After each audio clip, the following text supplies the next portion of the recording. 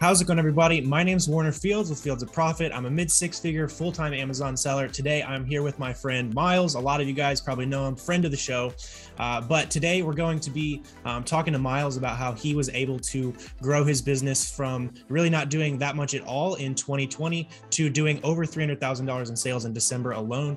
Uh, but before we get into kind of how he did that, I do want to mention real quickly that we did just open uh, the sale for our brand new course, the FBA Roadmap. It's going to be $70 off uh, if you buy it right now. It's, the price will be going up on Tuesday, the 15th. Uh, it's basically the whole blueprint of how we're able to grow our Amazon business. It's perfect people of every level. It's going to go through sending in your first shipment all the way up to some crazy powerful tactics that I really can't talk about here on YouTube. But we're super excited to share with you uh, everything we've been working on. But yeah, how's it how's it going, Miles? How are you? Oh, good, absolutely. I'm excited. I was just looking at my uh, seller app. Like we were on Zoom the other day, almost 1.2 last 12 months, which is a lot more than uh, I did in 2020 or 2021, which is like, or 2020, which is only like 30K in revenue the whole year. Yeah. So it's, you know, come a long way in that time. Luckily, you know, partially thanks to guys like you, the community we got online, but I'm excited to spit some game on how exactly I went to do yeah, that. Yeah, for sure. Yeah. So for the for the true like beginners out there, like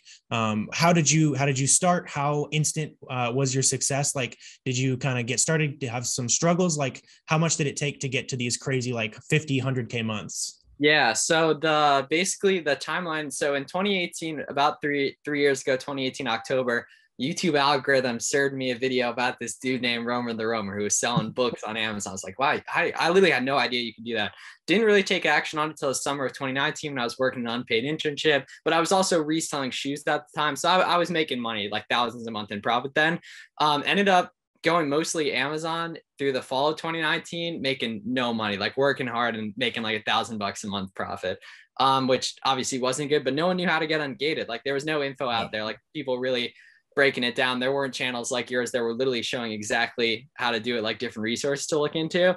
And then 2020 pandemic hit, didn't really do any Amazon the whole year, made like 10K profit, uh, which was actually a lot of consignment, which did work really well. That 10K profit was actually really good for the amount, amount of time that went into it because there's like a compound effect with books yeah. and everything.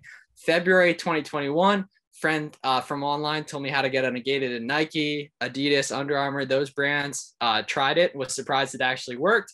Hit the ground running. Um, first 50k month June, first 100k month August, and then 200 in November, 300 in December. Obviously, that's revenue, but at, even at you know 17% of that, still like 50k profit at the peak, which is amazing. More money that I that I'm like super excited to talk about and just passionate about showing other people how they can go ahead and do it too. Yeah, that's awesome. It's it's kind of crazy how like you compare starting an Amazon business to you know pretty much any other traditional business where you can be you know you can be making a profit like on your third or fourth week, whereas a lot of traditional businesses you're years into the business without turning a profit. So I think that's yeah. a super powerful you know just uh, ability of selling on Amazon. Um, so like specifically within going from books, figuring all that out uh, to really being able to scale up, what was the most like significant um, change that you made in your business that allowed you to scale? Was it capital? Was it sourcing? What what kind of made the big difference there? Yeah, sourcing by way of learning how to get ungated. Luckily, all that information's out there for pretty much any category that it is possible to get ungated. And that's something we talk about a lot. But it was that, then that allowed me to source and getting super curious trying out tactical arbitrage, trying out some bolo groups. Uh, tactical expander specifically was really big for me. Haven't used it now in a while because I've learned to do stuff on my own. I do everything manual now, no software besides Keepa. Um, mm. But back in the day, I was grinding using a lot of different stuff. I'm gonna try and find my way on that. But it was literally just getting ungated and being exposed to a lot of different products that I could now sell that people who aren't in the community or aren't just getting curious online are never going to figure out how to get ungated in that stuff because Amazon won't just let you. You have to do a specific set of actions that luckily it's very easy to do, but it's just, yeah, you know, what you know. Yeah. So you mentioned that uh, you were able to scale using all those tools like the big expensive tactical expander, tactical arbitrage, but now you're kind of just doing it manually. Um, I think that's a very cool point to drive home, um, be, especially because uh, how much of that is stuff that you're just buying that you originally sourced. Um, like a lot of people, you know, they'll dive in, they're like, I can't find anything. But the nice part is, um, I know personally, a lot of my items, I'll find an item and then I can just keep selling that item over and over again. Has that has that been something that's allowed you to scale that software back? Yeah, because there's a lot of compounding effect to buying stuff that's not the hottest deal of the day, that's not on sale, that you can get over and over again. That's the like beauty products, for example. Like people are always going to want to buy those. And it's not like you hear about massive, like Walmart's not going to do like 50% off or whatever. Like right, there's yeah. a lot of stuff that there's just market inefficiencies based on that brand doesn't sell on Amazon and Amazon doesn't buy products directly from that brand, but it's able to be sold on Amazon. So naturally, that creates a different market because no one's buying it at wholesale, or at least Amazon isn't buying it at wholesale. So it's literally just up to the free market and the third party sellers to decide it. And if you get the the right people that are smart on those listings, you know, like they'll be uh, just yeah. marketing efficiency yeah. you can take advantage of. Yeah, um, I think something within those products that are typically replenishable is that oftentimes you're not going to be finding these crazy like 100%, 200% ROIs. Like, what do you have to say to the beginner who might, you know, they're they're not buying anything that's below 50% ROI? What do you what do you have to say to them? Yeah, so you're not spending enough money if that's your lowest point, um, or you're spending way too much time sourcing to find only stuff of those points. Like there, there's a lot of beauty in lower ROI stuff because the newer sellers stay away from it because it is lower ROI stuff. You can see on, on these different listings if the whole if everyone on the listing has over 100 reviews, over 50 reviews, everyone's making money, everyone's serious, they're committed to this. And you can see in the price health on some of those listings. But literally, like, go follow like the big wholesale sellers. They're all talking about volume. No one's worried about spending an hour to find a 55% ROI when you could, you already know in your head about stuff that's 28%. 33%, but there's LTV to it. There's lifetime value that I can sell 100 units a month, 500 units a month, and I'll be able to consistently do that I'd much rather that than being able to sell 17 of it of something to make 60% than all that effort that went into finding that item. There's no compounding effect to it. Yeah, I think that that's something that I see. I, have been doing some coaching calls and stuff like that. I, that's something I see a lot with them, where they're like, "I can't find anything." I've been setting my minimum at five dollars profit per unit, fifty percent ROI.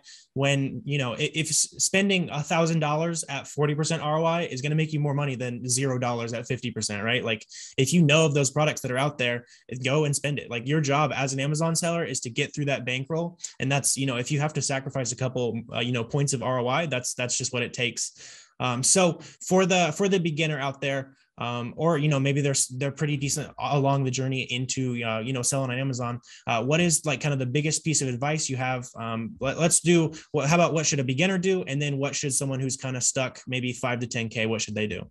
Yeah, so the beginner, your your only priority as a beginner is getting sales. If that has to be used books, if that has to be merchant field, that's fine. You want the proof of concept to get sales that shows that we're not just talking heads on the internet. The person who wants to scale, you need to aggressively spend more money and do it in replicatable ways, right? You need to be finding stuff that you can source that's either you finding it or an in house VA that's not available to other people. Because once you can find stuff on your own, you can go deeper because you can not worry that that was sent to a group that had 500 members in it, that 40 of them are going to go buy it. Naturally, that affects the pricing and everything. So it might not be the best item to go after, but learning to go out and find stuff on your own or put the systems in place to find stuff on your own, going deeper, not just using tactical arbitrage, using tactical expander, plugging in coupons. That way you're getting access to items people aren't. That's really all it comes down to spending money on items other people aren't finding.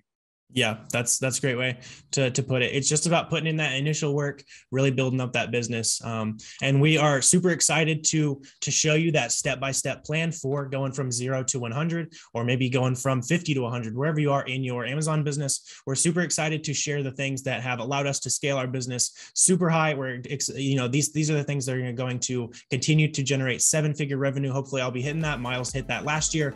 Um, we're super excited to continue to implement these strategies, and we've shared pretty much everything we know about selling on Amazon in this course. Super excited to share with you guys. Again, uh, the price will be going up by $70 on Tuesday, the 15th. Would love to see you take advantage of that. We've got tons of bonuses like a free uh, or a, a, private Discord server. Uh, we've got a, a, one month free trial of BQool and a ton of other bonuses in yeah, there. Yeah, that's like there's other stuff on top yeah. of just the content. Like you're you get like community. Obviously, we're going to be actively putting new stuff in there, and it, it's more so just like we've gone through assuming you want to you you want to you know really make some money on amazon we've gone through that entire process and have in our opinion a great way to do it and that's what we walk through step by step in the roadmap so you guys should consider going and checking that out yeah, there's going to be a link right down below for you guys to go check that out. I'd highly encourage you to hop in there. But it was uh, great to chat with you, Miles. I'm sure a lot of people know you. Was, uh, I guess this is the first time you've actually officially been on the channel, which is kind of funny. Yeah, um, but yeah, I, I, hope all of you guys go out there and crush it. Uh, go take action and sell some stuff on Amazon.